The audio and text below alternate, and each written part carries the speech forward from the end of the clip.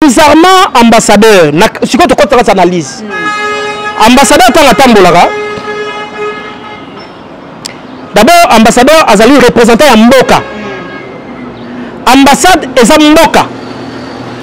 ntango mona ambassadeur atambolaka na motuka ya ambassadeur batiaka draple ya mboka na ye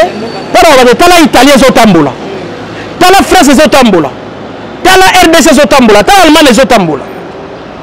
ambassadeur comment akoki kose déplace na motuka ya ambassade te parce que nandimi te barebele wana malgré baza barwandais batalite ya mabe binemi ya pe bakokaki kobeta nguba panda baboniki oyo eza ambassadeur ambassadeur akei na baeffigie ya kiambassadeur te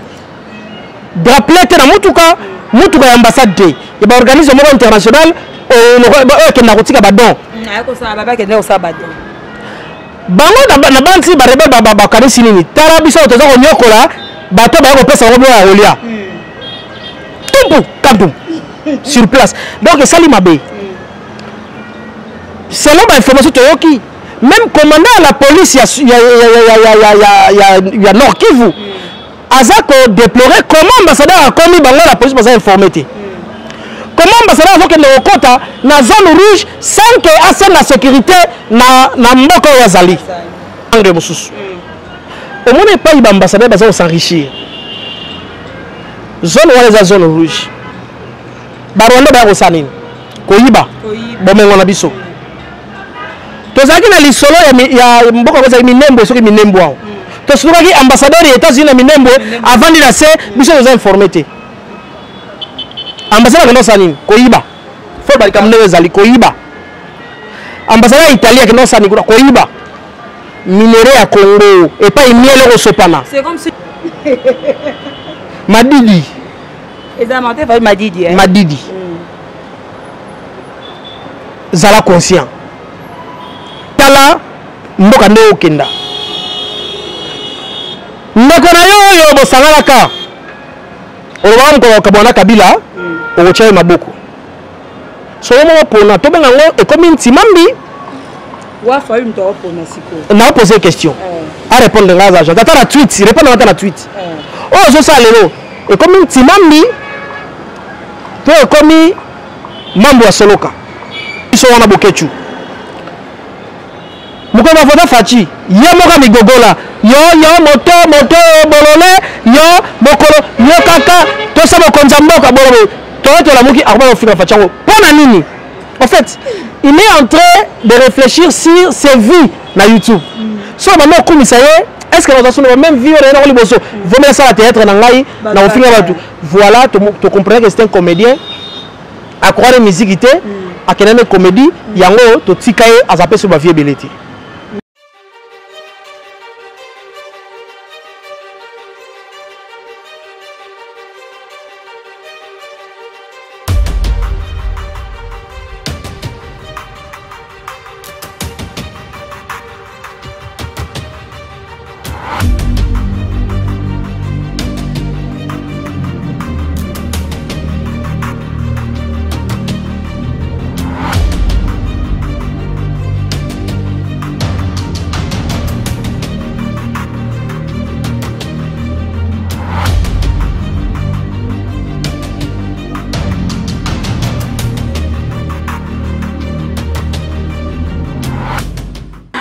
Euh, mbote lelo balandi ya congo suisse télévision merci beaucoup na confiance fidélité oyo bopesa biso bozala toujours branche scotier kolanda émission na bino na congo suisse télévision surtout chaîne oyo esalaka bosepela na baactualité ya ndenge na ndenge merci beaucoup à maître john babi le boss babi mokonza chaîne oyo napesi yo mbote esika ozali na, na suisse babi poto ya solo poto oyo bato basololaka malamu kuala moi marquis tousevo na suisse namoni vie na ngai claude lukweba koni na suisse en tout cas merci beaucoup na confiance fidélité bozopesa biso babilo oyo tokoanalyse so na germi yoka moto ya mayele le potier de la prince moto ateva kala tobeta masolo na ye na baactualité politique oyo ezoleka mikolo oyo euh, touti komona toza toujours kaka na union sacré ezosala gaz mikolo na monde ya politique toza toujours lisusu awa na euh, likambo etali po italie ezolela na biso elongo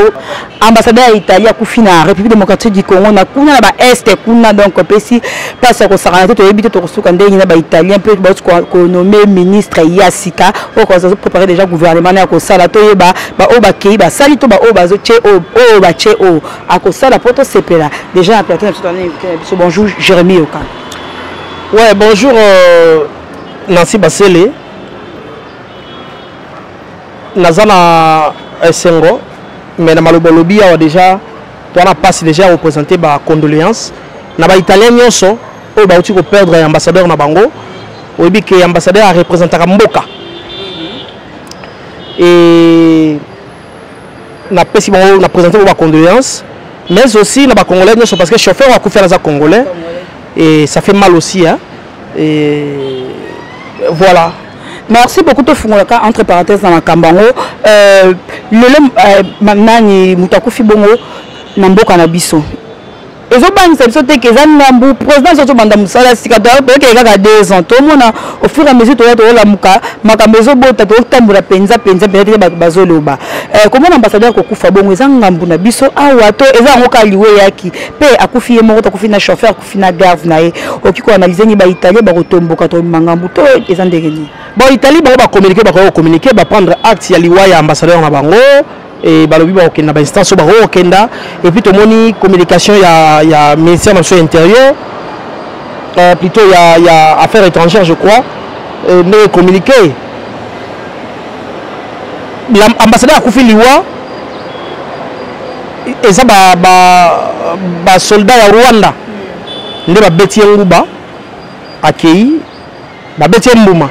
oyo eza touche basimbisi président te na bato to eza bakosa eh. rendre na ye moko touche eza te touche eza te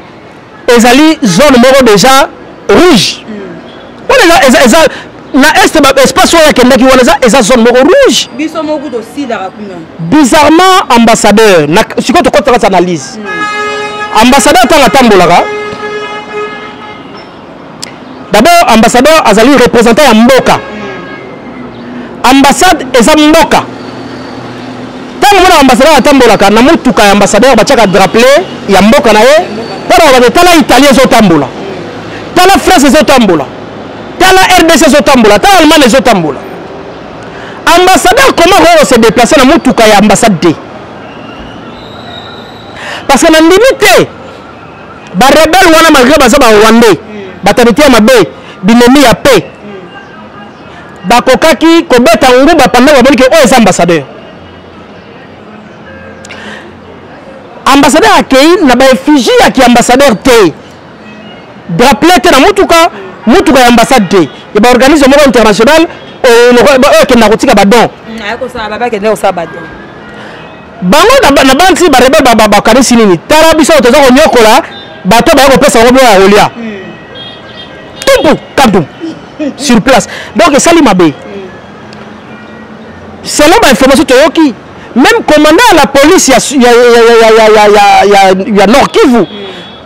aza ko déplorer comment ambassadeur akomi bango la police baza informé te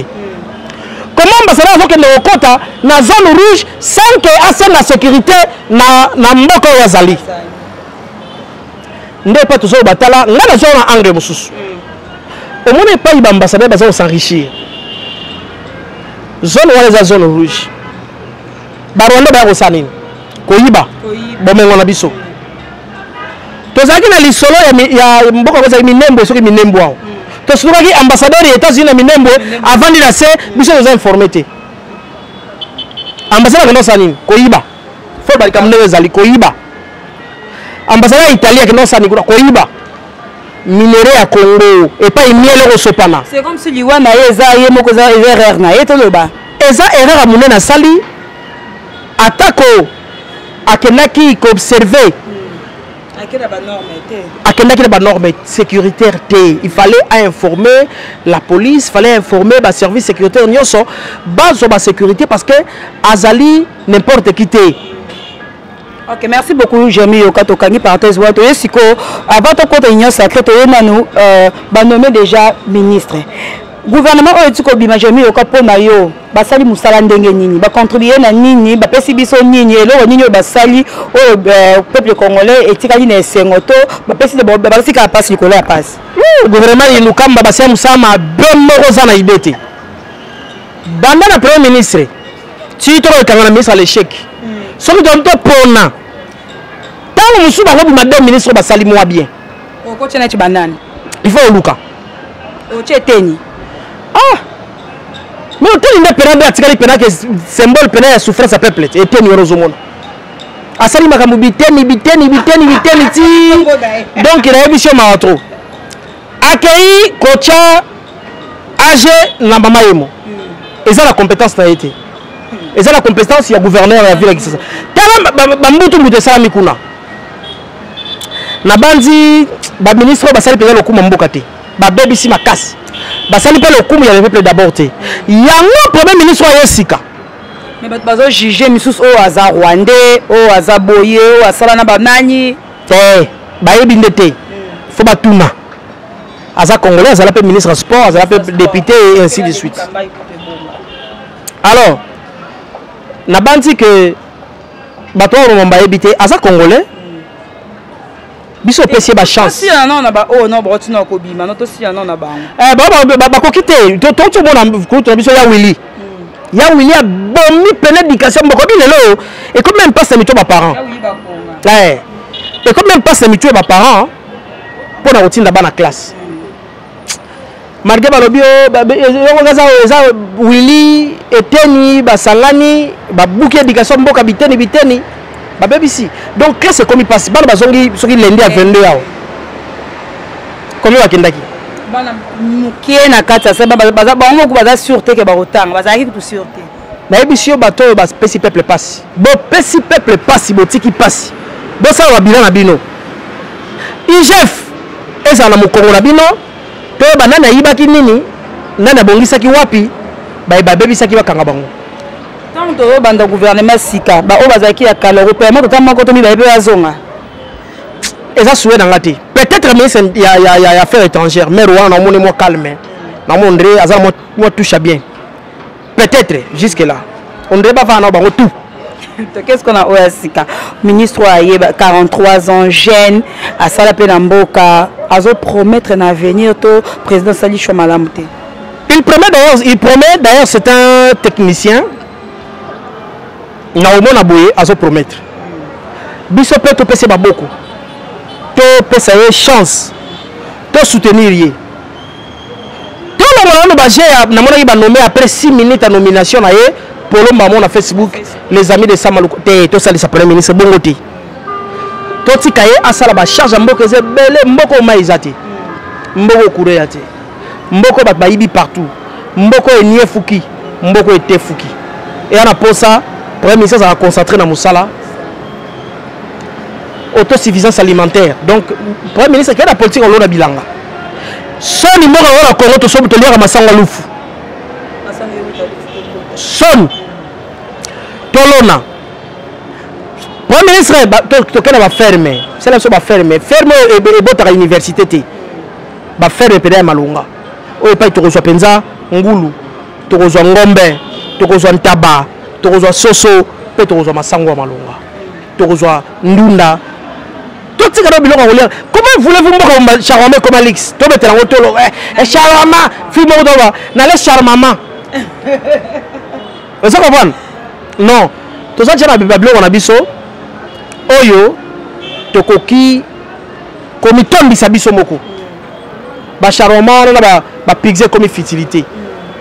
tolobi te tokolia yango te mais comme nango futilité blo moka ya eh, eh.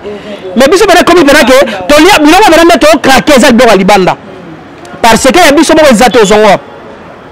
et puis biloko na biso ekomi lix mbika tosomba mbika tout na prix bamamola yo kende osomba mayebo lelo komi moto azala yango mayebole na palin oyo oh, moto akobetela yango tolwa nga nga aliaka bio na mayebo na nga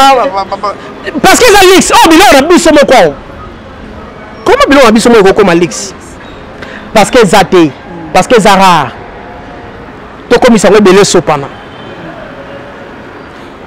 voilà gouvernement ezobima toyebi ke tozwa gouvernement ebimaki mbala simi mbala liboso tobaa tobima towumelaki tosalaki mpenza bamwa ebele oyo tozozela préparation mpo basala gouvernement ebima bato ni oyo mpo na yo mpenza baza capable ya kosala na gouvernement sika bato baza capable ya kosala gouvernement sika eza bato baza conscient eza likambo ya age te na baki tolonga biloko na obata ayo likambo ya age ya moto asala na kabila faux débat ya mikolo mpe baboyi babi ya mokolo ministre asala eloo te aza mokolo abomi mais mikolo babongisa mpe bazali mboka mobato kolo ya lambert mende eh. hmm. ah communication eza bien te lambert mende il faut zonga maza mokolo ta mende ya camarade na yo elingi oloba ke toza na débat ya age lisusu te hmm,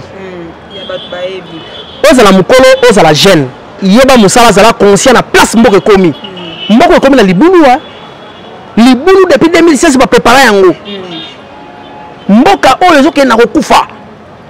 il faut bato baa na conscience ya travail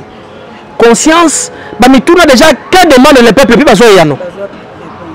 bato ah, nakomi ministre me nayebi que demande le peuple kodia konwa konvwata bana batanga mpe bazwa basoi soki babeli 5 réponse yango wana bato bayebi biloko wana nde toa na mposa basala toboyi okomi ministre kabila na bombaka babolo kutuba hmm. na bachabwala na bawakwetu tribalisme na bakabinet toboyi hmm. oko ministre oza mosonge basonge bakozala mibale mais so baza bato baza 100 de basonge 98 bayombe besingombe bayanzi baluba batetela ba, sadi osangisa biso mpe bikolo mosusu fini tribalisme na bakabinet oyo boye na kabinet boye 60 bato ekolo moko 12 bato ekolo mosusu base retrouva sikoyo te réunion na monoko ya mboka biloko wana efe esila wana biro baoso yango okomi mal à l'aise okomi mal à l'aise kope na mboka ozolekwa boye po bazoloba na monoko na mbongo na monoko ya mboka mm. oyokano te makumi ya ntano ezaliki oyoki te oza komona donc toza na besoin ya toboma no batribalisme oyo to prime compétence mm. bato mingi lelo baozalaka epuis baministre ya sika boza so na raison te gouvernement ezoboboa na raison te kabila atiki tuti mm. sena eza na maboko Assemblée nationale eza na maboko. Je crois Modeste Bahati Lukoba akoma président Sénat kala mingi te. Wa yo tolobi. Ah, chef de l'État poni ye lokola candidat ya Union Sacrée aozwa. Primature wana premier ministre aza choix ya chef de l'État. Aza ya Katumbi te, aza ya Bemba te, aza ya Tamosi na biso te, aza choix ya chef de l'État. Donc awa eza bapesi directive otosi te balongoli yo. Soki soki moto atosi te, moto asali mosala mabe balongoli ye te so wana biso nde moto tour na chef de l'état na 2023osuete ministre asala mosala ata lokola cibala te bacibala baboma mboka oti bacibala baboma mboka ofa cibala asalaki ndeni ayebi ke nakozala na nga te hmm. na profite eh, na profite na mwa ntango oyo rais ah merci rais mais c'est comme salaki ministre asalaki succès bokoyeba ministre ebele baleka parce que parce que ba ba bazwaki ye hmm. autaki na na na udps avec par bato banda olinga kokatisa te mais bazwi ye bakatisi hmm. ozo comprendre hmm. mais eh, eh, baci bala bao sala honneur ya mboka mpena te basali honneur te bakotaki na bango bacope moko boyisaki kitoko mingi te likambo ya union sacré papa union sacré bato mingi mingi ya bazosepela toujours ya union sacré te ekosangisa sangisa oyo babiki motema mabe eza na kati eloko mabe kobima soki union sacré ezali euh, likanisi wana ya chef de l'etat idée wana mpo na yo oza contre yango mpo ozalaka kaka mpo yango union sacré te ngai naza contre yango te parce que union sacré eza en fait idée ya peuple chef de l'etat apesi kaka nkombo epuis ligne de conduite nango esimami na mokonzi ya mboka moto aza redevable na peuple eza chafachi il y a pas trois personnes donc moto akoya na minute oyo on ne peut pas nous intimider eza lisusu te na esika ya peuple peuple akotuna mpena mokonzi ya mboka na 2023 kingandi abebisaki bosalaki ye nini kingandi aza mpo awa eza su makambo ya autorité morale te akenda dubai ake pema mwa 15 jours aozonga na ye avandi na lubumbashi kuna soki alembi ake kisangani soki alembi ake absence ne noko a se retire na ye a se retire na ye a gérer ba faire ne privé a gérer famille na ye aza ye ero na, na dubai kuna soki atamona nazo imagine ere moko ozala mpe na bambai wana mpo aza mpena noko ambila eh, akozali na mbai wana eh, asala sport na ye na dubai azodambe na ye aza na laise mokopa olinga azongi lubumbashi soki ayaki kisangani ye soki abeyaki sasa ye mokopa olobakende eh, eh, katanga soki nini kolwezi ye mokopa koyeba zai ye parce que aza na droit ya kovivre na congo mm. lokola congolais nyonso lokola sénateur à vie mm. abimi kaka na système atiki bino bosala nde esika gouvernement ya union sacré ezala conscient que awa on ne peut pas nous intimider kozala te parce qu'on peut t'intimider maintenant so osali mabe bakolongola yo soki balongoli yo te oyibaki balongoli yo te 2023 peuple tout les chefs de l'état parce que moto oyo peuple eyetala na lisu boye s'appelle faci il n'a pas droit à l'erreur et il est conscient voilà pourquoi amemi union sacrée voilà pourquoi aponi premier ministre bato balota te ye moko ayebi baqualité na ye ye moko ayebi bacompétence ya premier ministre wana aponi ye atie ye wana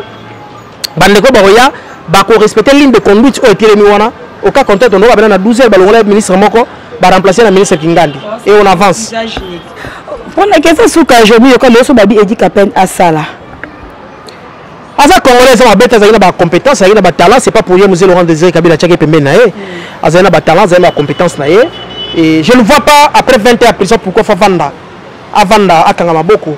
fo bapesa ye mpe soki mokonzi ya mboka ko apprécier bakopesa responsabilité moko atravaille pourvu que aprocure bonheur ya bana na ye acree quelque chose mpo na vie ya ye mpe bana na ye parce que edika peine euh, aza na expérience ok merci beaucoup donc edika mpe bayoki na osala aza nde mwana mboka autaki mpe na mosala yango malgré 20 ans ya prison apres na camere ezolobela yo nike babandela lisusu bazonga lisusu na justice ozomona eza chance moko te ke abima to eza chance moko te bazoluka bapesa ye tomona mpe sikoyo asali mpe alongi abimi toyebi ke likambo ya camere elobela yango mwa mingi mwa mingi mai tozonga nao moke na likambo ebotami sika d'abord oyebi ke vital camere mikolo bakino babenge monsieur innocent oyebi ke bazolinga bapesa chance te kamere abundi na kosenga baliberte provisoire par rapport ya état de santé na ye bapimeli ye yango mais comme na état de droit nyonso moto basambisi bacondamne so omoni condamnation na yango eza injuste okoya asala appel asala appel na ye dossier eza na justice na banzi ba suspendre yango mais tokosenga bazongisa dossier ya kamere basambisa ye po ntango asambaki biso tomonaki toyokaki mpe tokomprenaki c'est pas pour rien bakino babenge mais c'est innocent nga nabenge réel le sage africain afrique ya na posa chef de l'état lelo azali président ya union africain afrique eza na posa ya sagesse ya kamere mpo afrique ekende liboso Vital Kamere innocent. Vital Kamere le sage africain. Afrique a besoin de toi. osali nga mpasi ozoyo camere te mais lobeli esali nga mpasi neutralise na ngai donc merci beaucoup mot de la fin mpo tokabwana mot de la fin na ngai ezali bandeko na biso bacongolais toza mabe ah oyo oluka soki tocontinue kaka